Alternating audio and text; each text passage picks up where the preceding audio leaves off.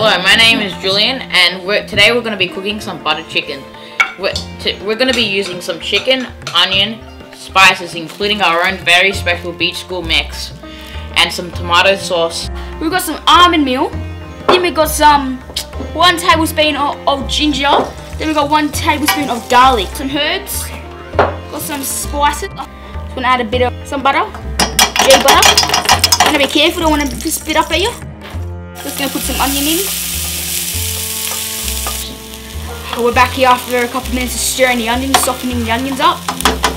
Now, after maybe one more minute of it, you want to get some chicken and put it in.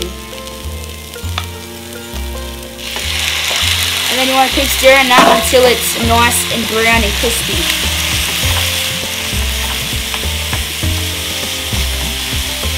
First of all, we need to add the garlic and the ginger.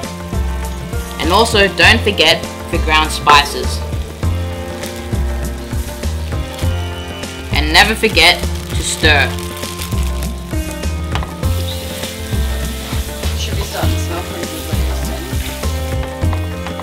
Add the tomato. This is the final step. We add the almond meal, crushed up almond meal, into the butter chicken. For any amateurs, you gotta hold the handle you know, just in case.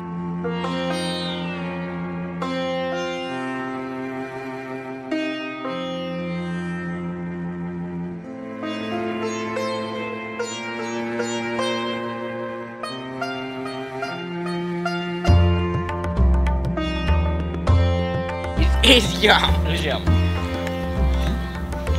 Wow, this is delicious. This is amazing. These chefs are incredible.